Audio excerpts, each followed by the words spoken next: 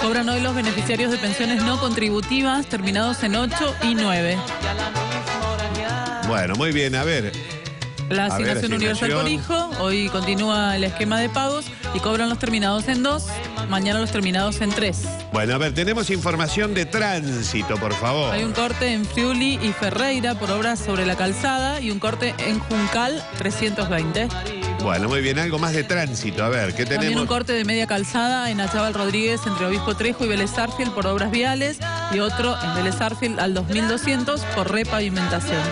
Bueno, muy bien, ya estamos listos con los servicios. Fantástico. Bueno,